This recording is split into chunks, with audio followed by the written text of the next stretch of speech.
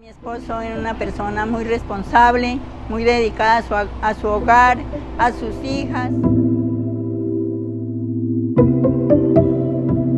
Y mi esposo salió como de costumbre a su lugar de trabajo, al igual que todos nosotros salimos a trabajar y siempre nosotros salimos con la ilusión de volver a encontrarnos con nuestra familia.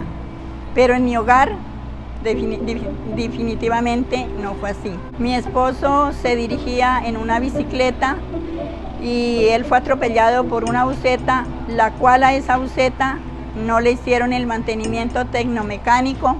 Aparte de ello, el motorista se había quedado dormido en las horas ya de la madrugada, salía con mucha velocidad y mi esposo fue atropellado y murió en un siniestro vial.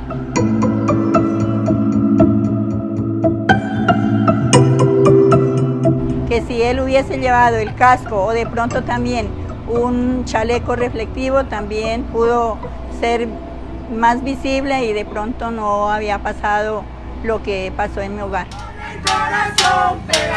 Que todo hago parte de Guardianes de la Vida porque quiero dar un testimonio para que más siniestros viales nos sigan ocurriendo en nuestras vías, carreteras.